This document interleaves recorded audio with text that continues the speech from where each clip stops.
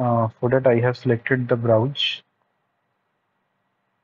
And in the browse uh, there's the object store name and uh, uh, in the right click I have created I have click on a new folder. So in new folder I have just type a name it's a dev. And uh, class type it's folder and it's saved in this object store.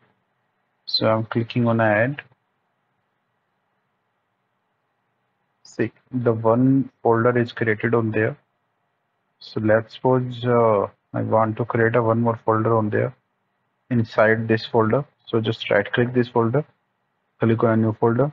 You can do also this, but there's a one more option. If when you click on this dev, uh, in the header there is a three to four buttons is visible. So refresh add document and new folder. Uh, I'm creating clicking on new folder. So inside the dev folder I am creating a test. Test one like okay. And uh, the class is the same but is saved in inside the dev so i'm clicking on add button. See inside the dev there is a one folder is created. It's a test one. So let's suppose uh, inside the test one i need to create a one document. Uh, click on add button and uh, browse. I have selected this image open this image is selected and class is a document. And uh, see uh, where do we want to save? So I have selected this a local document. That's why this browse option is visible. Okay. You can also change the document title name but uh, I'm doing uh, take it as it is.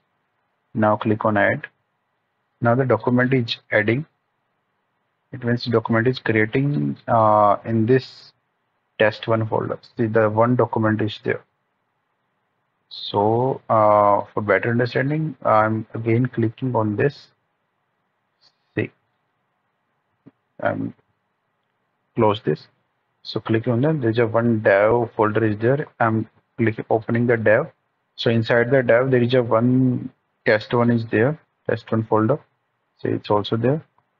And I have opened this uh, test one folder. See this image is, is this document is created on there. So if I'm I want to create a one document inside this dev only.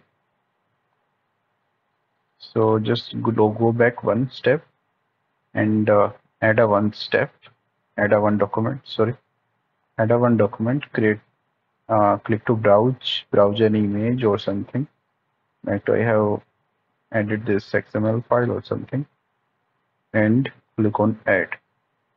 So there is a one more document is created but that that is created inside the dev folder. So I have created uh, two folder. One is dev second is test one. Send uh, two document I have created firstly if I have created inside the test one inside the test one if I open the test one folder there is a one document is there and inside the dev is there. So you can create a many documents on there. Maybe you can create it inside uh, directly on there and uh, uh, maybe in uh, any folder inside any folder. Okay that's